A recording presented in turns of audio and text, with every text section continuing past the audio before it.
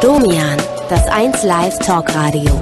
0800 220 50 50.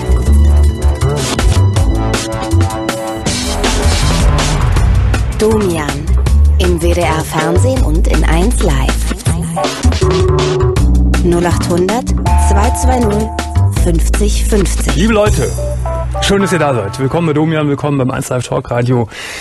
Das ist unsere Freitagnachtausgabe und dies ja wie immer eine freie und offene Themennacht. Also, wenn ihr gerne mit mir sprechen wollt, hier live im Radio, im Fernsehen, dann meldet euch 0800 220 50 50 oder mailt domian.wdr.de. Meine erste Anruferin heute Nacht ist die Daniela. Hallo Daniela. Ja, hallo Domian. 26 Jahre bist du alt, ne? So ist es. Weswegen rufst du an? Ich rufe an, um einfach mal über die Wichtigkeit eines Organspendeausweises aufzuklären, beziehungsweise einfach mal, ja, aus meiner eigenen Erfahrung zu erzählen. Ja, wie ist die eigene Erfahrung? Ja, ich bin selber nierentransplantiert. Aha. Ich habe letztes Jahr am 12. Juli eine Lebendnierenspende erhalten von meinem Vater. Ja, Ich war davor zwei Jahre selber an der Dialyse ja. Und habe diese Zeit in nicht so gute Erinnerung. Es hat mich halt ziemlich, ähm, ja, an meine Grenzen gebracht. Also, so. das heißt, der Papa hat seine, eine seiner gesunden Nieren gespendet für dich. Ganz genau. Er hat sie sich rausoperieren lassen und du hast sie bekommen. Genau, seine linke, um genau zu sein. man kann ja, glaube ich, mit einer Niere gut leben. Ja, also dem geht's auch äh, soweit ganz gut. Der muss auch keinerlei Medikamente nehmen und nicht. Ja. Also äh, der hat eben halt einfach nur in Anführungsstrichen eine Niere weniger. Ja, das finde ich ja immerhin äh, immer eine ganz tolle, eine ganz Ja. große Sache, wenn jemand das für jemand anderen Ja. tut. Das ist Äh, absolut super, ja. wie kam es denn? Wie, wie hat sich diese Entscheidung entwickelt, dass dein Vater seine Niere dir schenkt quasi? Äh, es war also so, als dann feststand, dass meine Nieren sich also wohl von alleine nicht wieder erholen würden, hatte sich zunächst mein äh, Verlobter, damals war er noch mein Verlobter, jetzt mein Mann, Mhm. erst angeboten, sich testen zu lassen, ob er mit mir halt kompatibel ist sozusagen, weil Das- er wollte mir zuerst spenden. Das ist eine wichtige Voraussetzung, also es kann nicht Ja. jeder jedem eine spenden, ne? Nein, das ist so. Also die, es wäre schon schön, wenn die Blutgruppen auf jeden Fall übereinstimmen. Mhm. Mittlerweile geht das allerdings auch, wenn das nicht die gleichen Blutgruppen sind. Aber das ist dann ein etwas komplizierteres Verfahren. Mhm. Aber das äh, erleichtert die Sache ungemein, wenn es die gleichen Blutgruppen sind. Und wir hatten die gleiche Blutgruppe, beide A, Ja, hat der Papa und du?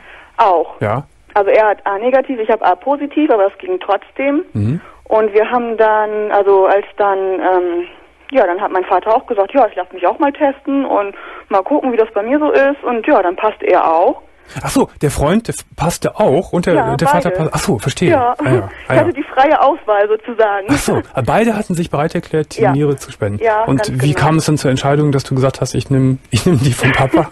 Ähm, da haben natürlich die Ärzte auch eine große Rolle gespielt. Die haben mir natürlich aufgezeigt, dass es ähm, klüger wäre, zunächst den älteren der beiden zu nehmen. Ach, ich würde Ja, jetzt spontan sagen, vielleicht, vielleicht den Jüngeren, weil die, die, die, das Organ jünger ist. Ja, macht auch Sinn, aber bedenkt die andere Seite, ich spare mir sozusagen meinen Mann noch auf für in etwa 15 Jahren, wenn diese Niere dann Ah, hin ist sozusagen, dann habe ich immer noch meinen Mann in der Rückhand sozusagen, der dann hoffentlich noch selber gesund genug ist, Mhm. Ja. um mir dann eine seiner Nieren dann zu spenden. War denn auch noch so ein, so ein Argument, dass, dass äh, aufgrund der Blutsverwandtschaft äh, das dann doch noch, noch besser vielleicht ist für dich, wenn du die Niere deines Vaters nimmst? Ja, sicher.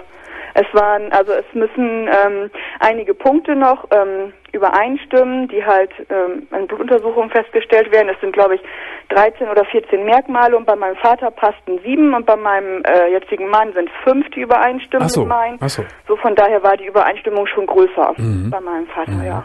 So, Genau. jetzt hast du gerade schon angedeutet, das ist jetzt nicht so ein, ein Organ für, für das ganze Leben. Nein, leider nicht. Man kalkuliert, stimmt das so 10, 15 Jahre? Ja. Und warum eigentlich? Warum wird äh, dann das Organ, äh, er erkrankt das Organ oder wird es abgestoßen oder was passiert dann? Ja, es ist ja so, dass mh, von Beginn an eine permanente Abstoßung ja besteht. Also der Körper. Weil der Körper versucht- denkt, das gehört Ja, nicht zu klar. mir und Ja, ich genau. will weg, damit, weg damit. Richtig, der ne? versucht von vornherein das abzustoßen, deswegen nimmt man ja auch unzählige Medikamente. Also ich habe hier eine halbe Apotheke liegen, Ja, ja. um das natürlich zu unterdrücken, aber irgendwann ähm, ja, greift es halt einfach die Niere an, die Medikamente greifen Mhm. die Niere an. Und man sagt, im Schnitt hält die 15 Jahre von aber, dem Lebenden. Aber es besteht dann die Möglichkeit, so hast du es gerade ja auch gesagt, dass man dann nochmal transplantieren könnte. Ja, sicher. Ja, das äh, ist kein Problem dann. Das ist kein Problem, wenn es mir selber auch noch gut geht, wenn keine Begleiterkrankungen Mhm. Ja. auftreten. Ich meine, mein großes Plus ist, dass ich halt im Moment noch ziemlich jung bin. Ja, also die Operation war jetzt, sagst du, im, im, im Juni Im letzten Juni, Jahre. ganz Letzten genau. Jahres. Äh, äh, Du wirkst sehr fit und fidel. Geht's dir auch gut? Äh, es geht mir mental total super, ja. weil ich einfach ähm, durch diese ganze Geschichte neue Hoffnung geschöpft habe. Ich muss nicht mehr an die Dialyse. Das war für mich eine sehr große Last. Ich glaube, dass das eine große Belastung für die für die Patienten ist, die schlimm. immer an die Dialyse müssen. Also für mich war es ganz schrecklich. Ich, ich habe auch Leute kennengelernt, die gesagt haben, wieso, ich gehe noch halbtags arbeiten, kein Problem, davor oder danach. Mhm. Und ich war immer sowas von fertig. Ich, äh, also Wie viel Mal, wie viel Mal in der Woche musstest du hin? Dreimal. Dreimal die Woche. Wie lange dauerte dann diese Blutwaschung? Mm, Jeweils vier bis fünf Stunden, Vier immer fünf je Stunden. nachdem, wie viel man getrunken hatte. Man hatte ja eine Trinkmengenbeschränkung. Mhm. Ich durfte 800 Milliliter am Tag an Flüssigkeit zu mir nehmen. Das ist ja, Ja. nicht gerade sehr viel. Nee, nee.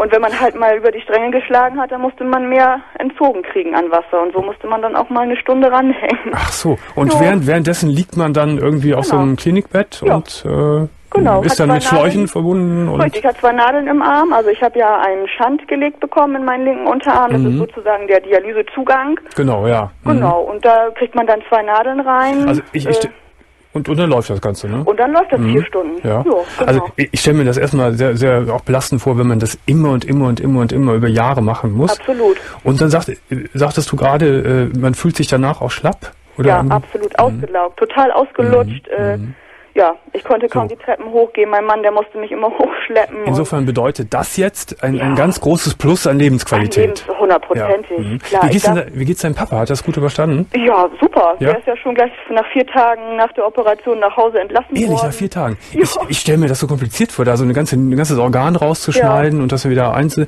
Also ist das offensichtlich für einen, für einen Chirurgen gar nicht so kompliziert oder? Für einen Geübten sicherlich Geübten, nicht. Also mhm, ja. ich habe es ja in, in Hamburg machen lassen, in Eppendorf. Ja. Und die machen da ja fast tagtäglich diese Transplantationen. Mhm. Die haben da ja richtig ihre Teams. Und ähm, die sind da, so blöd es klingt, aber sicherlich schon routiniert. Ist es denn komplizierter, äh, das Organ rauszunehmen oder ist es komplizierter, das Organ dann adäquat einzusetzen?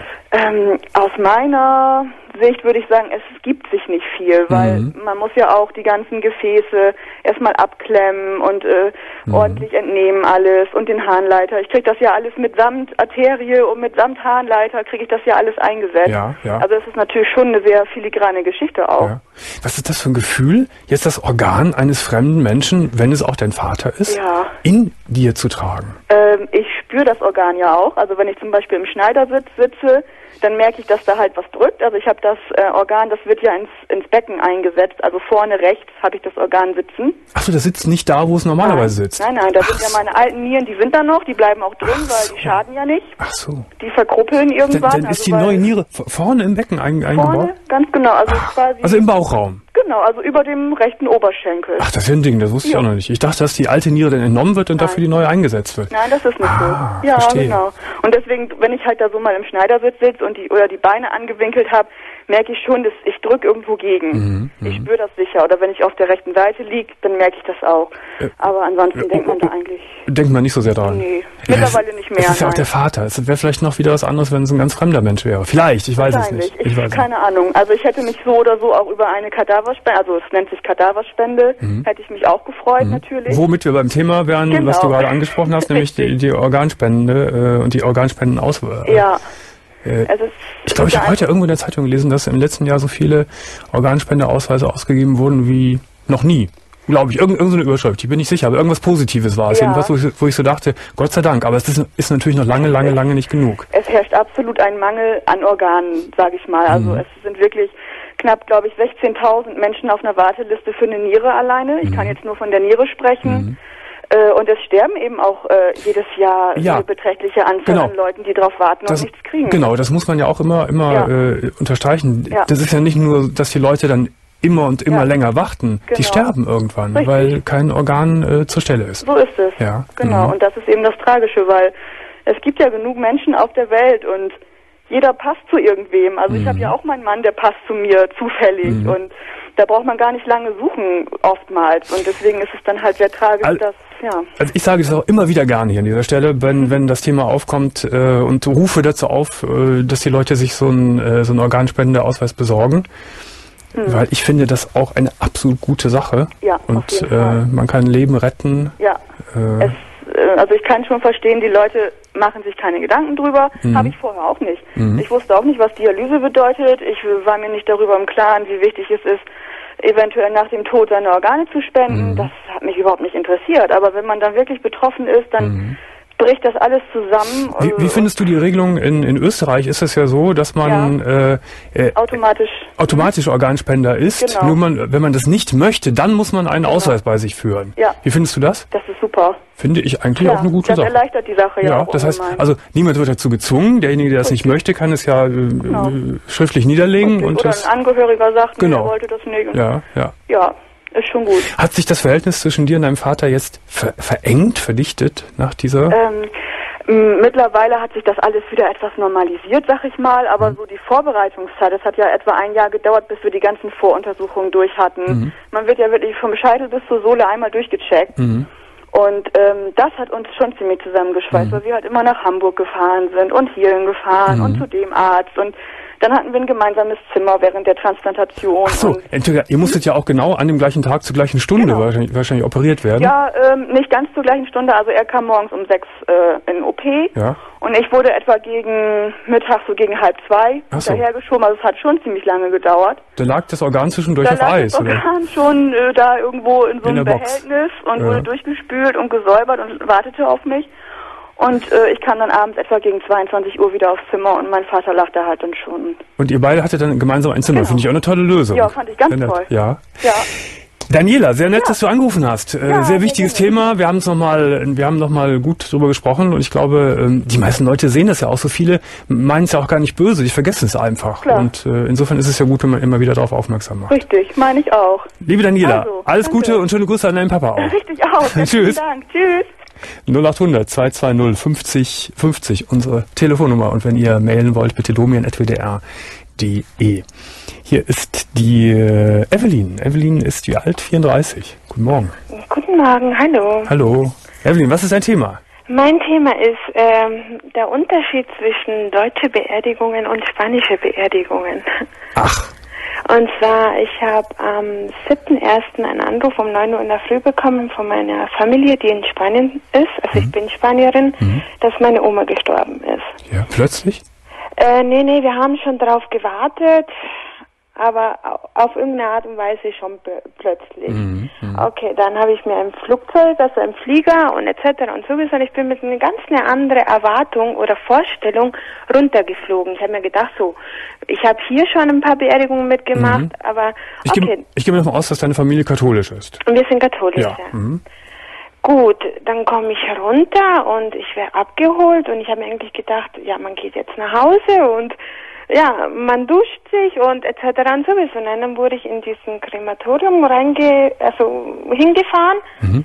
Also die Oma sollte verbrannt werden. Nein, nein, nein, nein, nein, nein. Das ist ein, ein Haus und, und man geht da hin und dann sieht man laute Türen und in einen Türe wird geheult, geschrien, in den anderen wird gelacht und, und ich denke mir nur, wo bin ich hier? Gut, bis ich in das Zimmer, wo meine Oma lag, gekommen bin, dann mache ich die Türe auf, da die ganze Family und das muss man sich vorstellen, ein riesengroßer Raum Ja. mit lauter Couch, Sesseln, ein Tisch, wo Kaffee und was zum Essen und, Ja. und mittendrin die Oma. Nur die Oma war aufgebahrt. Ja. Der Sarg, äh, der Sarg war offen. Genau. Ja. Und du nur- Entschuldige, du sagst gerade ein Krematorium. Äh, Ja, wäre das- dieser. in Spanisch sagt man das so. Also Ach so, also hier- Aushebungshalle kann man so Also verstehe. Also hier ist es ja äh, so eine Verbrennungsstätte für, für verstorbene Menschen in Deutschland. Nee. Hm? Gut, dann stehe ich da und denke mir, boah, ich bin echt im falschen Film. Ich habe mir das nicht so vorgestellt. Mhm. Dann denke ich mir, okay, dann sieht man, geht mal hin, verabschiedet, dann kann man wieder nach Hause. Mhm. Dann sagt mein Vater, nee, nee, wir müssen jetzt hier, bis sie unter der Erde kommt, bleiben. In diesem Raum. Ja, in diesem Raum. In, in diesem Krematoriumshaus. 24 Stunden muss man bei der Toten bleiben. Die ganze Familie. Die ganze Familie. Da wird geschlafen, da wird gegessen, da wird geredet und ich war, für mich war das, für das nicht nur, dass meine Oma offen war und auch noch so gestellt war von den Schmerzen, man hat es richtig gesehen, Mhm, für mich war das die Hölle. Okay, dann, äh, Also hast du dann auch 24 Stunden in diesem großen Raum Ja. mit allen gemeinsam, äh, du sagst schlafen, die Leute sind dann so eingenickt auf den Sesseln, oder? Ja, ja, an- in- eingenickt und äh, ich bin dann raus und habe, ich glaube, ich habe eine ganze Schachtel dabei geraucht. Und dann komme ich wieder hoch, dann ist das Licht aus und meine halbe Familie schläft da drinnen. Und ich denke mir, oh mein Gott. Das Licht war komplett aus oder so ein Ja, man Schummerlicht? hat halt nur bei der, bei der Oma, wo sie lag, da waren halt die Lichter an. Ja. Mhm. Aber im Raum drinnen war das Licht aus. Und ich habe mir nur gedacht, ich, ich, also für mich war es erschreckend. Hast du das als gruselig empfunden? Und wie, ich hätte mir beinahe in die Hosen geschissen, auf Deutsch gesagt. Für mich war das, also, ich halt Hm. Ich muss, dir mal, ich, muss dir mal, ich muss dir mal ganz spontan sagen, dass, dass ich das, wie du das jetzt so erzählst, ähm, gar nicht als so schlimm erachte. Ich könnte mir vorstellen, dass man äh, dann eine, eine, äh, dass es eine sehr gute Möglichkeit ist, von einem Menschen wirklich Abschied zu nehmen, indem man nochmal so richtig lange, nämlich 24 Stunden, bei ihm ist, mit der Verwandtschaft, man isst, man trinkt. Also mich erschreckt es nicht so. Ich finde es eigentlich schöner als, als äh, so, wie es in Deutschland oft gehandhabt wird, dass die Toten sofort weggepackt werden, äh, irgendwo hin und dann sieht und hört man nichts mehr davon. Ja, schon. Also man hat, man kann sich richtig verabschieden. Aber durch den, dass sie auch noch so verstellt war. Ja, das ist natürlich sehr traurig, wenn die Oma dann auch äh, keinen friedlichen Gesichtsausdruck hatte. Ja, ja. Das war heftig. Mhm. Das war für mich also erschreckend. Wie ging es denn dann nach diesen 24 Stunden weiter? Dann kam die Messe und dann kommt noch das Krasseste. Dann äh, bei der Messe sind halt auch die ganzen Nachbarn und etc. und sowieso. Und bei der Beerdigung, also zum Friedhof, ist nur die engste Familie, also die richtige Familie. Und wir in Spanien, wir haben eine Gruft. Aber die, lass mich noch unterbrechen, die Messe findet aber dann in einem anderen Raum statt, nicht in diesem, Nee, nee, die findet in der Kirche in einer Kirche, in der statt, Kapelle ja. statt. Ja. Ja, da wird auch der Sack dann zugemacht. Ja. Und gut, So, und dann geht man gemeinsam zum, zum Grab, zur Gruft. genau. Mhm. Und äh, ja, in, in dieser Gruft ist seit 23 Jahren mein Opa drinnen. Mhm. Und die Gruft wurde aufgemacht. Muss man sich das vorstellen? Das restliche Zeug von meinem Opa, was seit 23 Jahren ist nicht mehr viel da, Mhm. wurde zusammengekehrt, in einen schwarzen Plastiktüte reingesteckt. Wie bitte? Vor- Vor, vor den Augen der Trauernden? Dann wurde der Sack nochmal aufgemacht und die Tüte reingesteckt. W- Welcher sagte? Von der Oma. Von der Oma, ja. Und die Tüte mit, den- mit, den, mit, den Rest, mit den Überresten des Opas wurde, Wurde, ja, also die, Kno die Knochenreste. Ja, ja, ich meine, es war nicht mehr viel da. Und das wurde, ich frage es nochmal, vor das den wurde Augen? vor den und ich habe mir, ich habe mir echt in diesen, in, ich habe, ich habe mir gedacht, ich bin echt im falschen Film. Das ist Horrorfilm hoch drei für mich. Ist das denn auch Tradition, das so zu machen, oder war das ein seltsamer Ausnahmefall? Ähm, man darf das selber entscheiden, also von, den- von den Familien, ob man das sehen möchte, weil dann kann man sich auch wieder von den Opa richtig verabschieden. Und äh, meine Familie wollte das und ich habe mir eigentlich gedacht, ich bin stark genug, aber also Hatte man dich denn nicht, du bist Spanierin, sagst du? Ja. Hatte man dich denn nicht, äh, deine Familie, deine nahen Verwandten, äh, vorbereitet auf diese Art des Rituals? nee, nee, Nicht? nee, weil das alles sehr spontan war, nee. Bist du hier in Deutschland geboren? Nein, ich bin in Spanien geboren, aber ich bin mit sieben Jahren hier hochgekommen Achso, und und hast dann hier schon mehrere Beerdigungen erlebt und dachtest, dass das so ähnlich abläuft Genau. wie, wie bei uns hier. Mhm. genau, genau.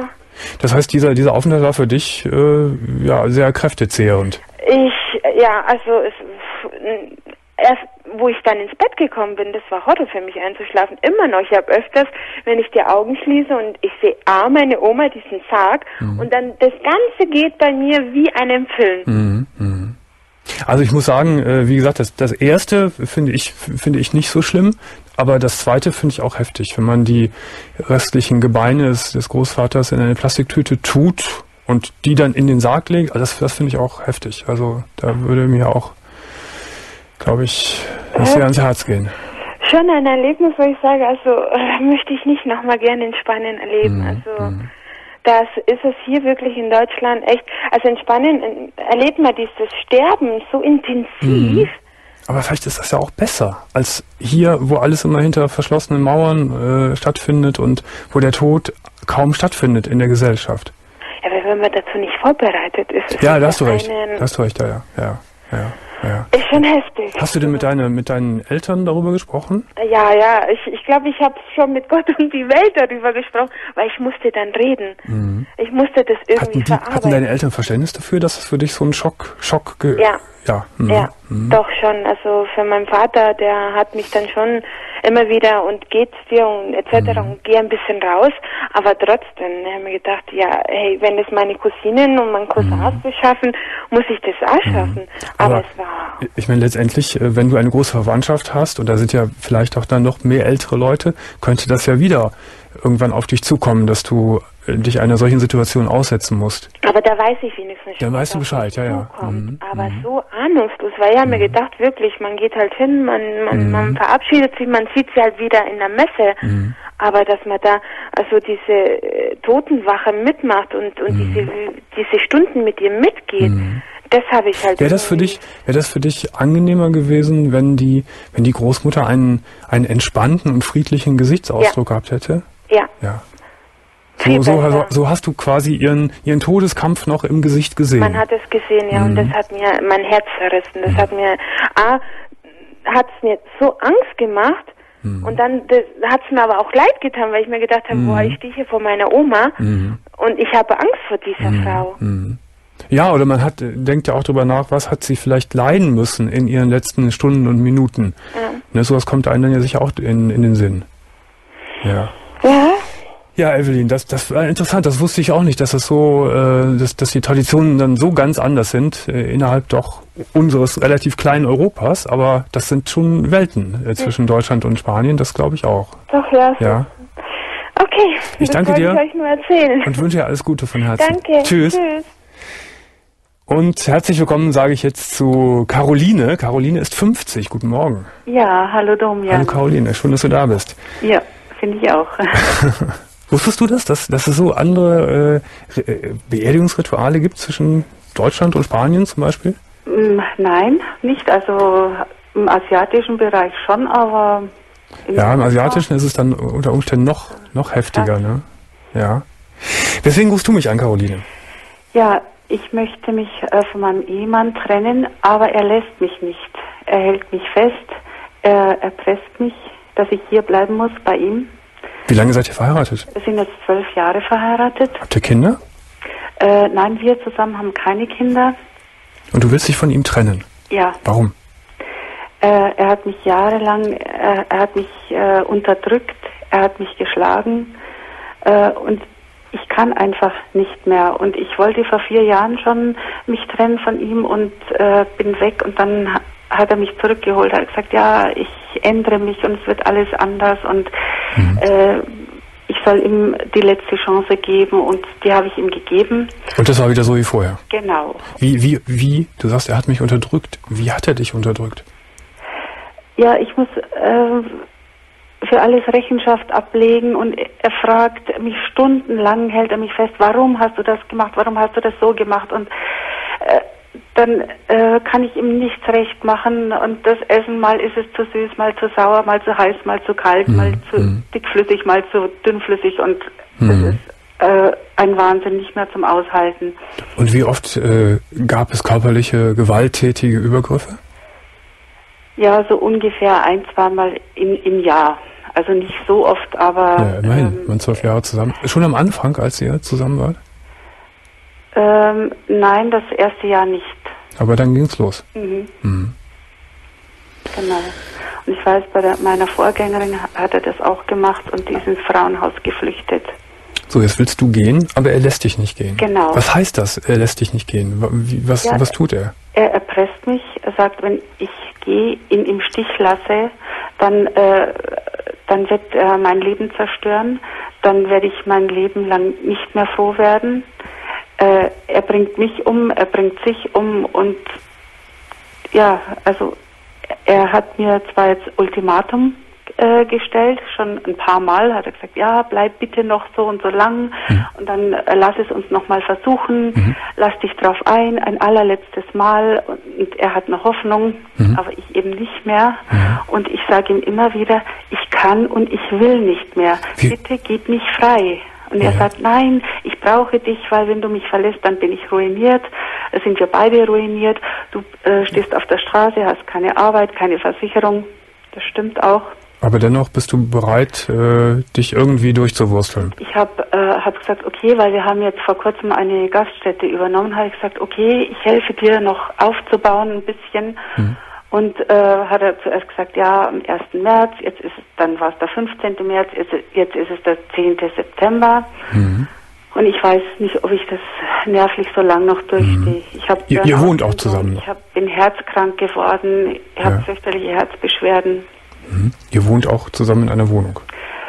Ja, Ja. Wir, wir schlafen zwar getrennt schon ziemlich lange, Ja. aber in einer Wohnung, ja. Wenn der solche, du sagst, er erpresst dich, indem er sagt, er, er würde, du würdest deines Lebens nicht mehr froh, er würde sich, sich vielleicht umbringen oder dich umbringen. Genau. Ähm, wie schätzt du ihn ein? Sind das äh, böse Drohungen oder würdest du dem sogar so etwas zutrauen? Ich würde ihm zutrauen. Ich, also ich traue ihm alles zu. Mhm. Ähm, er, er, er dreht richtig durch. Ich habe das gemerkt, äh, als er mich geschlagen hat. Er dreht durch.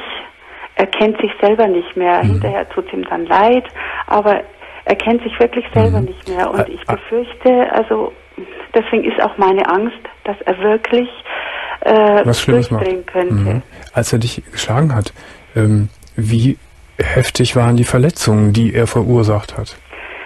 Äh, jetzt nicht so stark, weil ich teilweise also geschwindelt habe. Also ich habe so getan, als wenn ich mordsmäßig jetzt äh, Schmerzen hätte, Mhm. verletzt wäre und äh, Achso, und er ist er zurückgeschreckt. und so und das hat ihn zurückgeschreckt. Verstehe. Ja.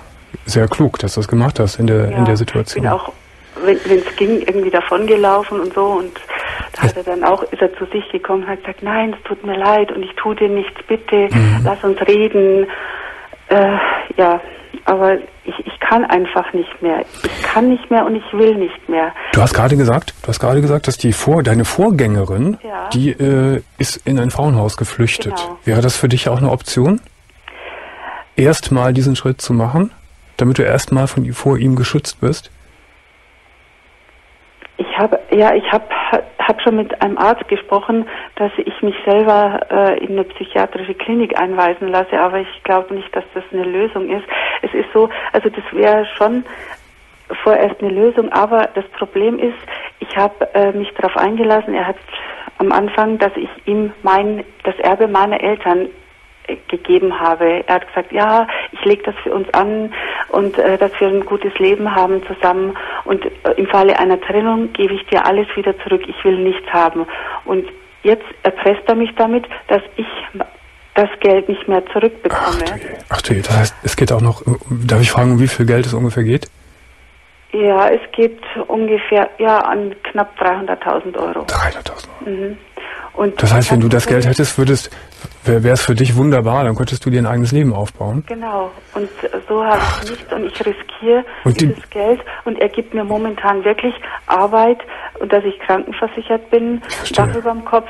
Aber ich weiß nicht, wie lange ich das noch durchhalte. Und ich sage immer wieder zu ihm, denkst du, ich kann mich wieder in dich verlieben, wenn du mich erpresst, Mhm. So. wenn du mich zwingst, hier zu bleiben? Hm? Aber ich Aber- glaube, dass du dir mit, mit, mit rationalen Argumenten gar nicht mehr erreichst. Er kapiert's nicht. Nein, nein, nein, nein. Äh, sag mal, äh, hast du wirklich die, die ganze Vollmacht abgegeben äh, von diesem Geld? Das heißt, er bestimmt allein über das Geld. Nein, ich habe, also mir gehört schon die Hälfte, also er kann nur über ein, eine Hälfte Ach so. entscheiden.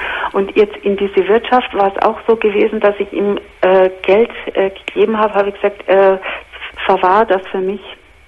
Äh, und er hat es mir aber nicht zurückgegeben, sondern er hat es angeblich in, in die Wirtschaft gesteckt. Aber dann bist du auch schön dumm mit, all. Also, mit all diesen Erfahrungen, dass du dem dann noch Geld gegeben hast. äh, ja, Muss man so sagen. ähm, nee, das würde jetzt den Rahmen sprengen. Es war so gewesen, dass er mich ins Gefängnis gebracht hat. Also ich war jetzt nur über Wochenende war ich eingesperrt und er, er hat dann die Kaution aufgetrieben und Warum wieder du- rauskomme. Hat er irgendwas gelogen, dass du ins Gefängnis kamst? Hat er das so gedreht?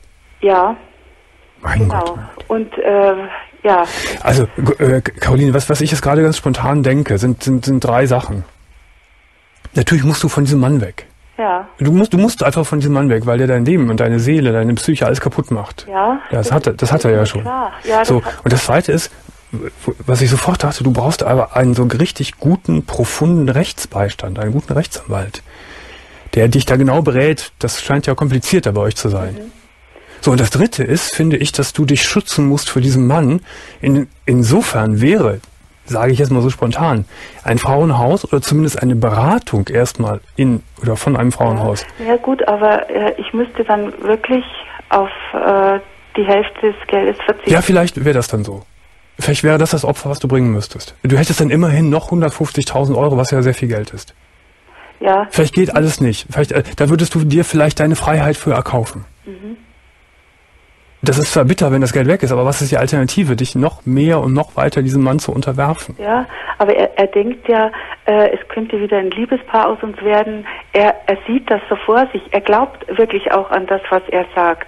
aber, so, aber du glaubst es ja nicht. Nee. Und du hast es ihm zehnmal ins Gesicht gesagt, dass sagt, du... Er, er, liebt mich noch und mhm. äh, will mich nicht verlieren mhm. und er braucht mich das klingt wirklich sehr ernst, deswegen möchte ich darauf noch mit den Frauen noch einmal zurückkommen, weil die Frauen, die dort arbeiten, die sind natürlich äh, erfahren mit, mit genau all diesen und noch heftigeren und, und andersartigen äh, Geschichten, wo du die, einfach die beste Beratung auch mhm. kriegst, was du tun ja, kannst. Das, das Problem ist, dass ich ihm ja jetzt nicht schaden möchte und ich würde ihn praktisch hängen lassen, dass er pleite geht, weil er niemand hat, der ihm hilft.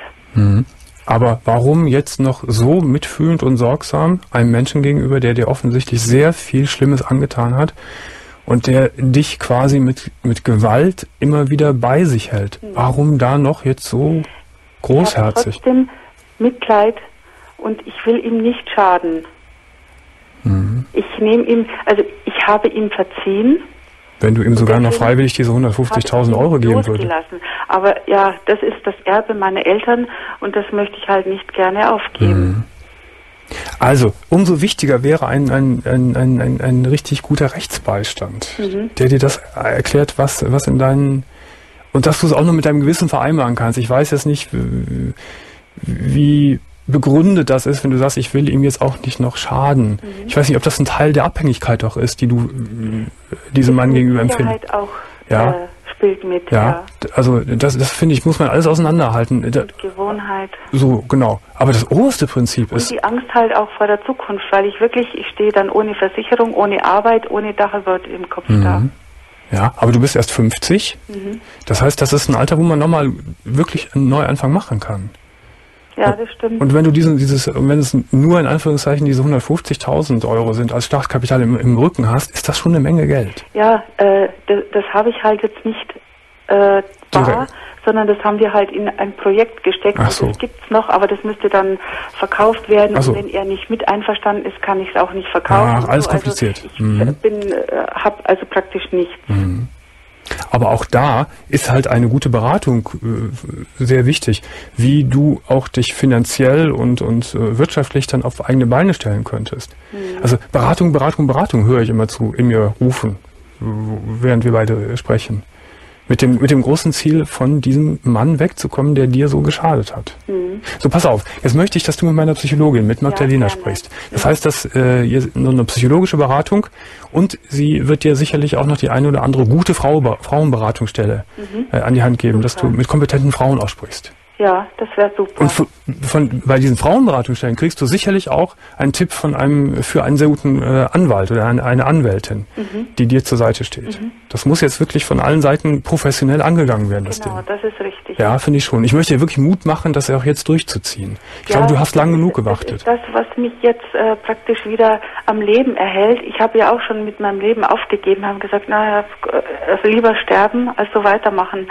Aber das hat mich jetzt wieder irgendwie, ich habe äh, war ganz unten angelangt, wo mhm. ich nur mich entscheiden musste, Leben oder Tod. Mhm. Und ich habe mich für das Leben entschieden und deswegen kämpfe ich da jetzt dafür, da rauszukommen. Das ist eine gute Entscheidung. Ich beglückwünsche dich dazu. Und das ist die richtige Entscheidung, sage ich dir. Wenn äh, wir in ein paar Jahren nochmal reden sollten miteinander, wirst du sagen, genau richtig, genau so richtig war das damals. Es war zwar hart, aber es war richtig. Ja.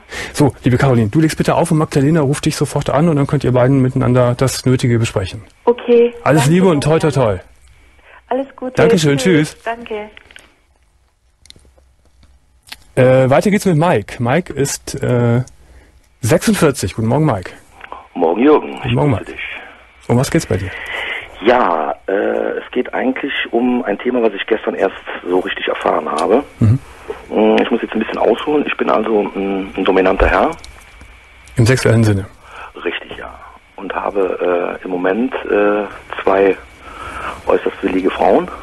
Äußerst willige Frauen, Ja, mit denen du aber kein, mit denen du ein rein sexuelles Verhältnis hast. äh, nein, das ist nicht ganz richtig. Also mit der einen habe ich äh, schon äh, so eine Art Beziehung. Ja. Das heißt, wir sind diese Beziehung am Aufbau. Wohnt ihr auch zusammen? Äh, nein, wir wohnen nicht zusammen. Wir sind also sowohl räumlich als auch äh, vom Wohnungsort her sehr getrennt. Das heißt, äh, ja, es sind so ungefähr 100 Kilometer. Ja. Und die andere Frau?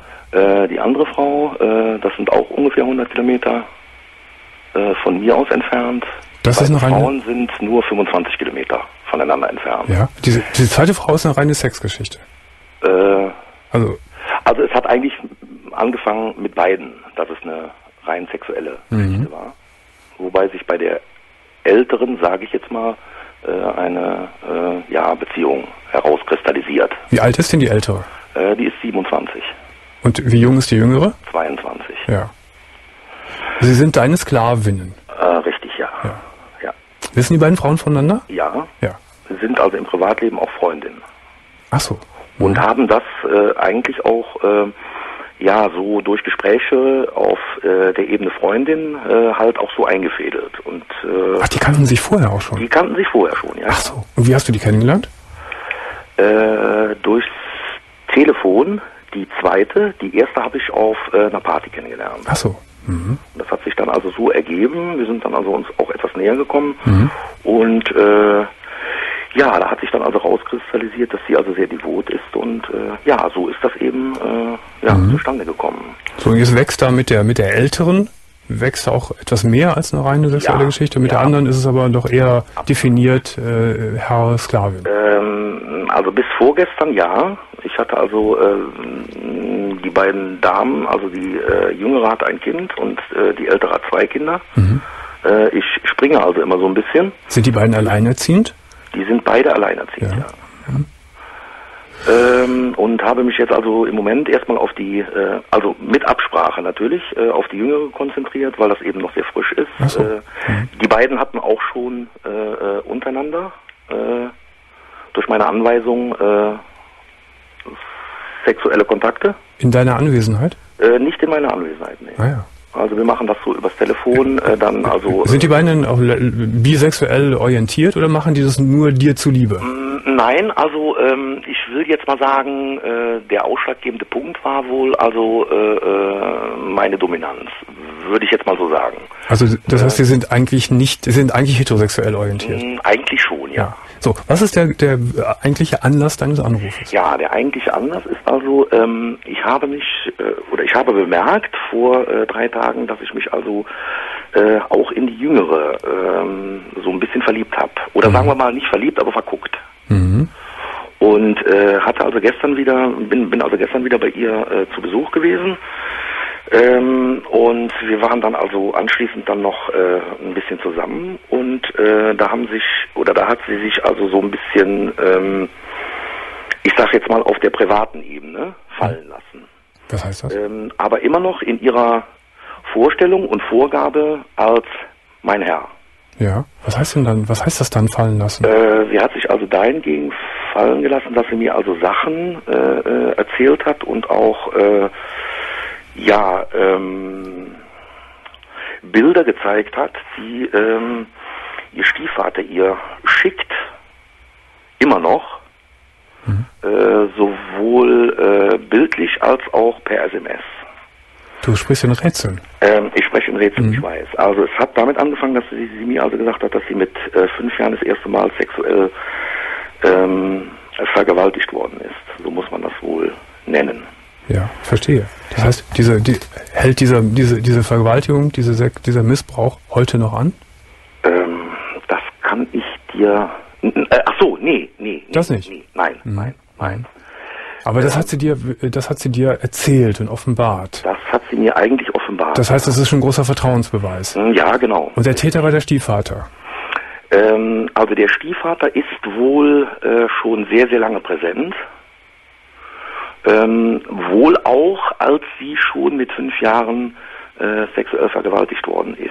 War der Täter der Stiefvater? Äh, in, da noch nicht, nein. Das war also ein Angestellter wohl. ja. Ähm, Und welche ja, Rolle spielt jetzt der Stiefvater? Ähm, der Stiefvater hat sie also ähm, nicht sexuell missbraucht, äh, aber wohl ähm, verbal und äh, auch tätlich äh, die ganzen Jahre über missbraucht. Er hat sie also geschlagen. Also nicht sexuell, aber im, im brutal, äh, im, im brutal körperlichen Sinne. Richtig, Ja. ja. Und, und zwar sehr massiv. Äh, Und das sie geht, also, und, was sind das für Bilder, die er ihr schickt? ähm, also jetzt im Moment sind es Bilder, ähm, wo ähm, also man ähm, ja, also den, das männliche Geschlechtsteil sieht, das äh, Von dem Stiefvater.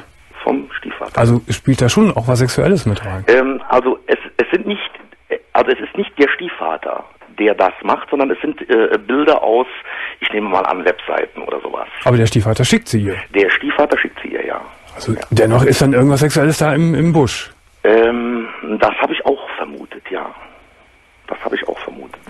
Das heißt, du bist in einer schwierigen Situation. Du, da hat sich ein Mensch dir anvertraut, Ja. der als Kind schlimme Dinge erlebt Ja. hat. Ja. Vielleicht sogar bis vor kurzem schlimme Dinge erlebt hat und sie noch nicht alles erzählt hat. Mm, Ich denke mal, nee, das nicht. Also das ist jetzt die zweite Sache. Äh, sie ist also mit zwölf Jahren äh, für 14 Tage, ähm, ja, also eigentlich von der Straße weggefangen worden und war also in ähm, der Hand eines, ja, ich sag mal, Triebtäters, der sie dann also auch äh, massiv sexuell, ähm, ja, misshandelt hat. Heißt das, dass du jetzt auch in, in, in Konflikt bist mit deiner Rolle? Exakt das ist es. Ja, das kann ich mir Ganz vorstellen. genau. Exakt genau das ist es. Das kann ich mir vorstellen. Du bist ein dominanter Ja. Herr Ja. im, im Sadomaso-Sinne und bist jetzt Ähm, ja, im Ja, jetzt mal- etwas abgeschwächten. Okay. äh, Und äh, da hat ja jetzt eine Frau diese Geschichte anvertraut, die ja, Ja. eine sehr heftige Geschichte ist Ja, und absolut. ihre jetzige Sexualität vielleicht daher rührt, Mhm. äh, als Folge all der Verletzungen, die man ihr angetan hat. Ganz genau das ist es. Ja. Ganz genau das ist es. Finde ich erstmal ganz spontan, Mike, dass du da die, die sexuelle Komponente, sofort rausziehen solltest aus, der, aus dem Kontakt. Habe ich gemacht, ja. Finde ich richtig. Habe ich heute schon gemacht. Und äh, diesem, dieser jungen Frau vielleicht, äh, ich meine, sie, sie- scheint ja großes Vertrauen zu dir zu haben, dass sie dir das erzählt hat. Das erzählen Menschen, Mhm. Ja, die so ja. das erlebt haben, ja nicht so schnell. ja. Weißt du, ob sie äh, irgendwie mal Hilfe in Anspruch genommen hat? Ähm, sie hat, äh, also wir haben gestern anschließend äh, ein, ein ganz, ganz langes Gespräch gehabt. Mhm. Also fast bis heute Morgen. Äh, ich hatte eigentlich noch einen Termin, den habe ich also spontan für mich im Kopf so abgesagt, Mhm. äh, weil mir das also sehr wichtig war. Irgendwie. Ich habe gemerkt, also ähm, ja, da ist äh, äh, Weißt du, ob es da ein, ein, eine, eine Behandlung, eine Therapie Ja, ein- es gab, es gab wohl äh, äh, äh, ähm, so, da war sie circa 17, 18, äh, gab es wohl so Anfänge von der Therapie und der Psychologe war so sehr, ja, weiß ich nicht, also äh, er hat also eigentlich ihr ihr ihr bisheriges, also bis daher heriges Leben äh, so in Also im Klartext, das, das hat nichts gebracht. Nein, absolut Mhm, nicht, mhm. absolut nicht. Ich finde, äh, was du jetzt machen kannst und was du nur nur das kannst du und solltest du auch machen, dass du der jungen Frau eine eine eine Hilfestellung anbietest, äh, aber sie muss es natürlich dann umsetzen. Da würde ich dich jetzt sehr gerne fa fachkompetent beraten lassen von meiner Psychologin, was du wiederum der jungen Frau äh, vielleicht anbieten kannst, auch an, an, an Informationen, an Telefonnummern und so weiter. Mehr kannst du dann nicht tun. Und du kannst natürlich ein, ein vertrauensvolles Verhältnis aufbauen, aber die Sexualität würde ich komplett rausnehmen. Mhm. Ähm, was jetzt das Problem ist, äh, äh, was eventuell jetzt dazukommt, ich weiß nicht, inwieweit das also jetzt äh, in ihrer Situation eine Rolle spielt. Sie sagt also ganz klar, ähm, dass sie das also nur gemacht hat, ähm, um mit dieser ganzen Sch Anspannung und äh, äh, ja, alles das, was auf sie einfließt, so alltäglich, äh, ist das quasi, was wir dann also machen, also Herr und äh, ich sage das jetzt mal so Sklavin, äh, das ist für sie äh, eigentlich eine Entspannung, wo sie dann also total auch abschalten kann, quasi so in, in eine ganz andere Ebene geht und ihren ihren ganzen Alltag. Äh, Das mag ja vielleicht, vielleicht mag es ja so sein. Ich, ich, ich, ich könnte nur an deiner Stelle nicht entspannt agieren. Nee, kann ich auch. Das geht Also nicht. ich habe das, ich habe das dann gestern auch oder oder auch heute den ganzen Tag Ja. äh, so für mich äh, äh, mal so versucht nachzuvollziehen. Mhm. Äh, also das das das kann ich gar nicht leisten. Ich möchte dir jetzt Folgendes anbieten. Erstmal, was ich, was ich gerade schon gesagt habe, dass du ein Gespräch mit meiner Psychologin Ja. führst. Ja. Äh, Du kannst ja mit deiner Freundin, ich nenne sie mal Freundin, ähm, dann, da, dann sprechen und wir würden ihr anbieten, dass sie auch noch mit einer meiner Psychologen mal ein Gespräch führt. Mhm. Das könnten, müssten wir dann irgendwie arrangieren. Das würde ich dir anbieten. Ja. Ich würde es äh, ihr anbieten jetzt über dich, wenn sie Ja. das gerne möchte. Ja, okay. Dass wir ein Telefon, äh, eine Telefonberatung, die für sie ja völlig unverbindlich ist Mhm. und dann ist es vielleicht noch näher an ihr dran, als wenn du ihr das weitergibst, was wir dir sagen. Das ist auch schon okay, aber vielleicht kriegen wir sie noch näher an, an die Beratung ran. Mhm, ja, Mensch, das das wäre super. Ja, das so, super. so würde ich es jetzt mal vorschlagen. Klasse. Dann bitte ich dich aufzulegen und du wirst von Magdalena zurückgerufen und alles weitere dann gleich am Telefon. In Ordnung. Jürgen, ich danke dir ganz, ganz herzlich. Alles Gute, Deine Mike. Sendung, Also unwahrscheinlich toll. Dankeschön. Macht so weiter. Danke sehr. Und du bist ein ganz, ganz toller Das freut mich, dass du das sagst. Also ganz, ganz sympathisch und äh, Hut ab vor dir. Danke, Mike. Alles vor deiner Gute. Sendung. Wir melden uns gleich bei dir. Alles klar. Tschüss. Tschüss.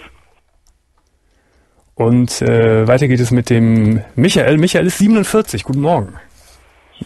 Michael. Ja, hallo. Ja, hallo. Guten Morgen. Hörst du mich? Ja, ich höre dich. Das ist schön. Um was geht's bei dir? Ja, ich bin seit 26 Jahren verheiratet. Und ich habe mich jetzt in einen Mann verliebt. Zum ersten Mal. Ja. Ja. Ich bin, Noch nie in deinem Leben dererlei Fantasien gehabt? doch schon, ja. Aber noch nie so intensiv. Das heißt, du hast auch überhaupt gar keine Erfahrungen mit Männern. Nein. Aber der Typ kam auf mich zu. Ja, und boah, es hat einfach Knall gemacht. Wie kam der? In welcher Situation? Wo habt ihr euch kennengelernt? Wie kam der auf dich zu? In der Kneipe. In einer normalen Kneipe. Ja, in einer ganz normalen Kneipe. Wir haben nebeneinander gesessen und ja, Peng gemacht. Und dieser Mann ist schwul oder ist es auch ein bisexueller Mann? Nee, der ist, äh, der ist schwul. Wie alt? Der ist ein paar Jahre jünger als ich, also der ist 35. 26 Jahre verheiratet, sagst du. Ja, Mit Kindern? ja, mit zwei Kindern. Wie alt sind die Kinder? 25 und 17. Jetzt hat Papa sich in einen Mann verliebt. Tja, das ist mein Problem. Seit wann? Seit drei Monaten. Ist da schon irgendwas geschehen? Ja, Das heißt, ihr hattet auch schon Sex miteinander. ja, Du hattest zum ersten Mal in deinem Leben Sex mit einem Mann. ja. Es war total schön. Hat dieser Mann sich in dich auch verliebt? Ja, Und das heißt, du hast jetzt quasi eine Affäre. Heimlich. na, ich habe eine Affäre, das ist schon, schon mehr als eine Affäre. Das ist mehr als eine Affäre. Also da, das ist eine heimliche Liebes, Liebesverbindung läuft da. ja, Ist der Mann solo? ja. Deshalb habe ich ja auch ein schlechtes Gewissen, ne? Und der weiß, dass du verheiratet bist. Ja, ich spiele mit offenen Karten, also ähm, Du hast das, Geschlecht, das schlechte Gewissen vor wem? vor mir selber. Irgendwo vor mir selber. Welche Rolle spielt deine Frau? Im Moment gar keine mehr. Hast du ihr gegenüber auch ein schlechtes Gewissen? Schon. Ich meine, nach 26 Jahren schon, ja. War denn Ehe, bevor das passierte mit diesem Mann, eigentlich schon, tja, erledigt? Leblos? Ja, Ihr wart einfach nur so zusammen, weil man halt zusammen ist. ja. War eingefahren, war ein, ein ja, schon. Hast du denn mit deiner Frau in den letzten, in der letzten Zeit noch geschlafen? Nein, Auch schon vorher nicht, bevor du den Mann kennengelernt hast? Hm. Längere Zeit nicht. Ja. Und wenn das dann passierte, war das vermutlich Routine. Ja. Ja. Du liebst deine Frau nicht mehr. Nein. Hast du das für dich schon mal so formuliert? Ich liebe meine Frau nicht mehr?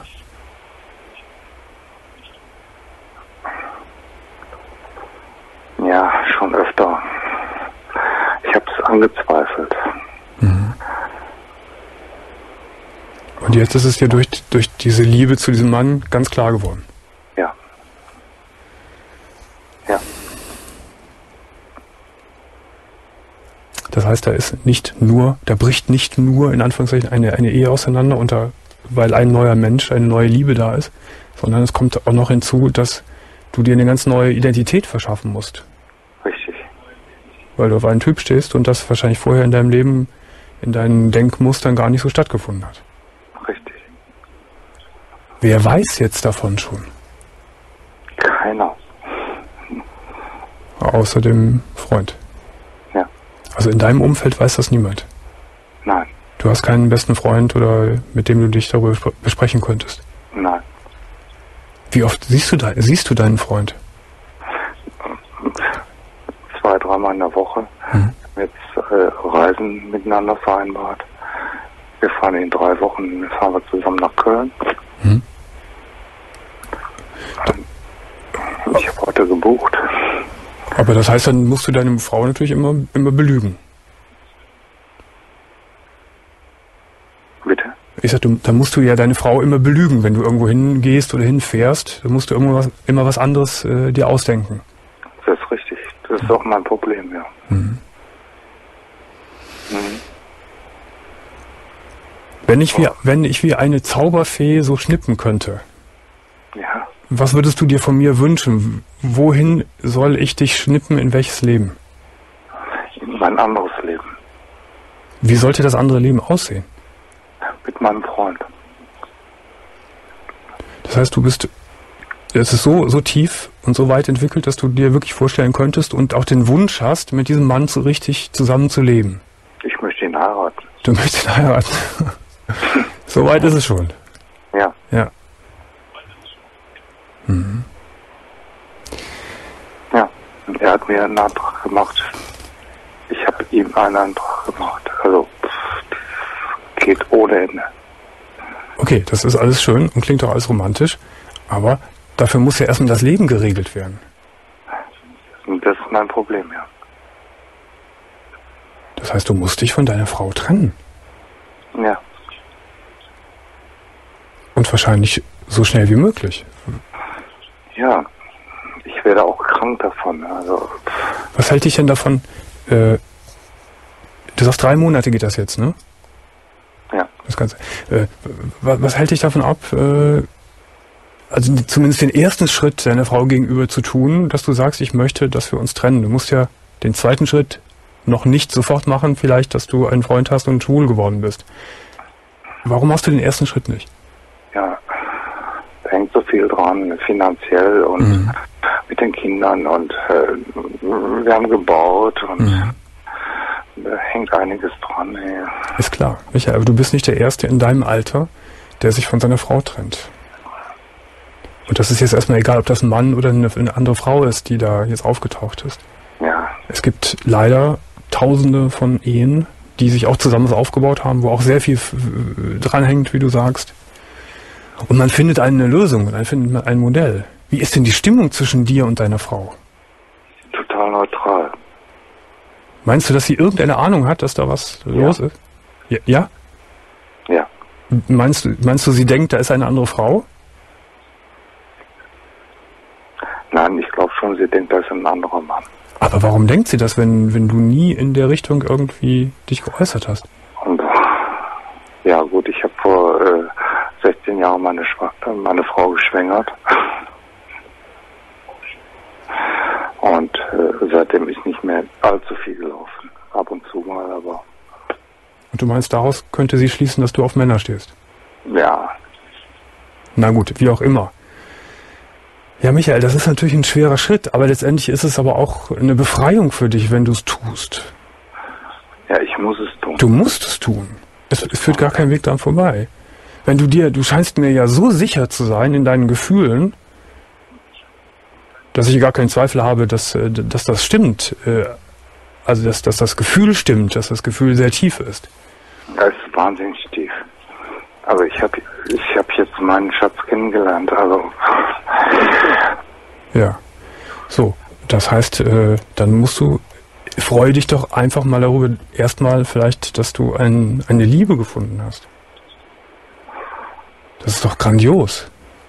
So, und, und mit dieser Freude im Nacken, sage ich mal, kann man ja vielleicht dann auch viel eher all die komplizierten Dinge erledigen, die dann jetzt auf dich zukommen. ja. Nur es ist wahnsinnig schwer, ne? Ja, natürlich. Es fällt nicht vom Himmel. Schritt, Schritt zu machen. Ich bin jetzt, wo ich wohne, auch kein Unbekannter und sich dann komplett Ist zu mir- outen und Ist mir klar. Ist mir völlig klar. Was machst, du, vom? Was machst du vom Beruf? Ich bin Bankkaufmann. Ist mir klar, dass, dass dein ganzes Leben, dein ganzes Umfeld, alle Bekannten, Verwandten und so, alles wird sich verändern. Du wirst ein komplett neues Leben wahrscheinlich beginnen. Ja. Ein paar werden übrig bleiben, ein paar wenig, wenige gute, sage ich mal. Interessant wird es sein, wie deine Kinder reagieren. Wie, wie schätzt du das ein? Ich weiß es nicht. Keine Ahnung.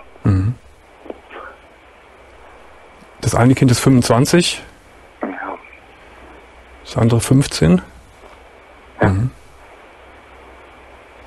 Aber weißt du, ich würde mir jetzt auch gar nicht über alle Details jetzt so erstmal den Kopf machen. Was ist in der Nachbarschaft, was ist mit der Verwandtschaft und so weiter, weil das erschlägt dich einfach. Ich würde jetzt Schritt für Schritt vorgehen. Der erste ganz große Schritt ist, ist getan in deinem Leben, da konntest du nichts für. Es hat dich erwischt, du, du bist verliebt und du hast dich in einen Mann verliebt. Ich bin verliebt ohne Ende. So, und das ist doch toll, das ist doch sensationell. So, der nächste Schritt ist, äh, dass du dich, äh, dass du versuchst, fair und ordentlich dich von deiner Frau zu trennen. Wenn du das geschafft hast, glaube ich, dass dir ein großer Stein vom Herzen fällt, weil du freier bist. Und dann kannst du sehen, du musst ja nicht gleich mit wehenden Fahnen durch alle Straßen rennen, hier, ich bin jetzt schwul oder so. Nein, Das ich. kann ja, das soll ja alles so, so peu à peu kommen. Ja, Michael, ja. Ich kann dir gerne noch ein Gespräch mit meiner Psychologin anbieten. Letztendlich wird sie dir aber das Ähnliche sagen, was ich dir gesagt habe. ja. Aber wir können es gerne machen. Vielleicht kann sie dir auch noch, wenn du das gerne möchtest, auch noch eine Beratungsstelle nennen, wo du vielleicht hingehen könntest und dir dann noch so ein bisschen Rückhalt holen. Ich, ich äh, äh, glaube, es hat mir sehr geholfen, jetzt mit dir zu sprechen. Also fand ich einfach toll. Und möchtest nicht weitersprechen mit meiner Psychologin. Ja, doch schon. Okay. Du kannst es ja abbrechen, wenn du nicht mehr möchtest. Ich muss es jetzt leider abbrechen, weil die Sendung vorbei ist, lieber Michael. Ja, okay. Das Wichtigste habe ich dir gesagt. Ich beglückwünsche dich zu deiner Liebe. Und jetzt hau rein, äh, bring Ordnung in dein Leben. Alles Gute wünsche ich dir. Ich danke für das Gespräch. Sehr gerne. Tschüss. Hat mir gut getan. Das freut mich sehr. Tschüss, Michael. So, meine Lieben, das war's für heute und für diese Woche. In der Technik heute Gunnel Blendin und Thomas Widdig. Wir sind am Montag wieder da. 1 Uhr Radio 1 Live, 1 Uhr wieder Fernsehen, 1 Uhr 1 Festival. Ich wünsche euch ein schönes Wochenende. Bis Montag. Tschüss.